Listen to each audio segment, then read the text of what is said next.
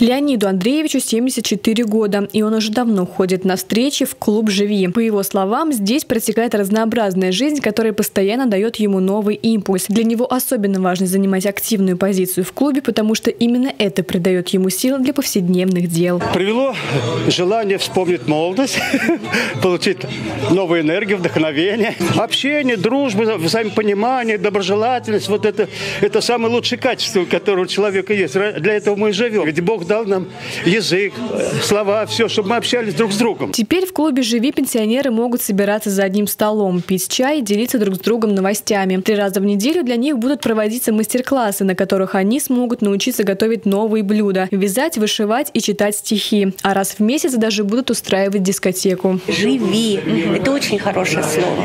Надо жить радостно, с улыбкой и э, радоваться тому, что мы имеем несмотря ни на какие проблемы, которые вот происходят сейчас в нашей жизни. Валентина Ивановна уже много лет шьет шали и вяжет различные вещи на заказ, даже для других крупных городов. Этому она научила и своих единомышленниц в клубе. Они меня учат, я их чему-то учу. Нам в возрасте не хватает общения. Я никогда не сижу у подъезда.